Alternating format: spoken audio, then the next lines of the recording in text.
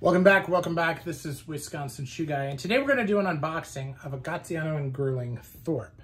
Now, I have a Thorpe today, which has a split toe, as you can see here.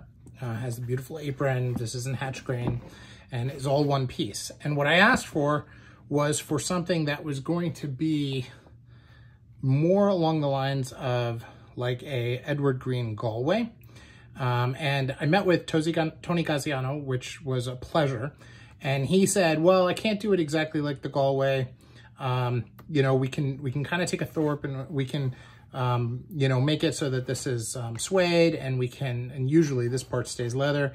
And we can make this so that it's a little bit of a chevron, but we're not going to copy their design because, you know, that's not who we are. And, um, you know, this is uh, different. So it's going to be a Thorpe uh, but we can do a cap toe on it instead, and you know, you can change last. So now this is the MH71 last. Now, um, you know, you make a few changes, a few pattern changes. Uh, it's, it's, certainly difficult to, to do. This is a complete MTO. Um, so he, uh, you know, he kind of uh, very nicely took me under his wing a little bit and said, okay, well, maybe we can do this, maybe we can't. Let me, let me see what I can do. And this is the finished product. Uh, I've seen a work in progress on this, but I haven't seen the initial product after um, taking all the uh, the patina and stuff that that um, that we decided on. I worked with Simon out of their uh, Jermyn Street store, um, and here it is. Holy cow! Let's take a look at that. Now, in fairness, I did take it out of the box once, so um, I did uh, unlace it, so that's my fault. But um, they've got this beautiful very soft, oily leather here. Uh, you can see how he did this. He went a little bit further in order to equate the um, um, thing. He actually did this, the, the facing in suede.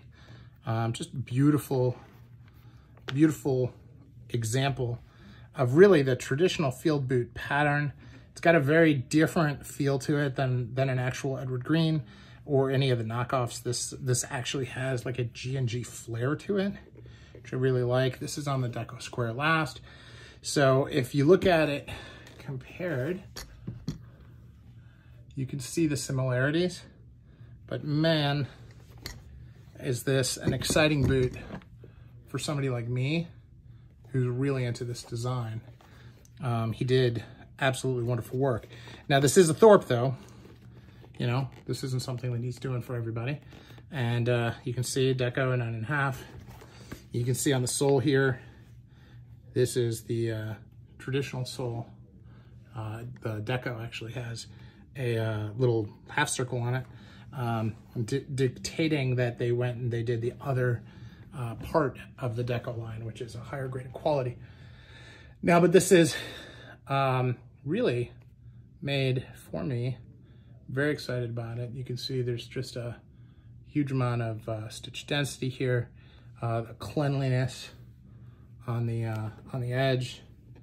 Um, the fudging is very, very subtle on the edge. The waist, um, you can tell that they sewed on the inside of the waist and it is closed channel. You can see the line where they closed it. So very, very very much classic G&G and very much unique to my specifications uh, as you would see with MTS. Now this is the one that I unlaced, so you can really see it here as I open this up. One of the things that's unique about the, uh, the Galway is that the lining um, actually goes all the way down into the shoe and they did that here. So the lining here goes all the way to the footbed and um, you know, I think that's just a, a really nice touch. Here, I'll, I'll use a light here so you can see in there. It's just a nice thing. There's the G&G logo. Um, they did nice work. I can't wait to get this one on the hoof and try it out.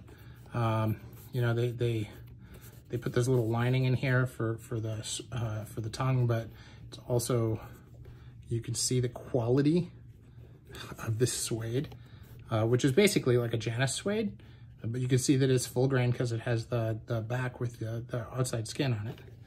And just, just gorgeous stuff. they really did some uh, some nice work on these. Beautiful green lining. Did a great job with the toe tips, as, as you would expect, right? I mean, they are G&G. Um, just very excited about this overall and excited to add these to the rotation. So take a look. Let me know what you think. I'll post uh, pictures, uh, you know, laced pictures and, and so forth in the sun tomorrow so you can get a better understanding of this patina. You can really see under the light how this has quite a lot of variance to it.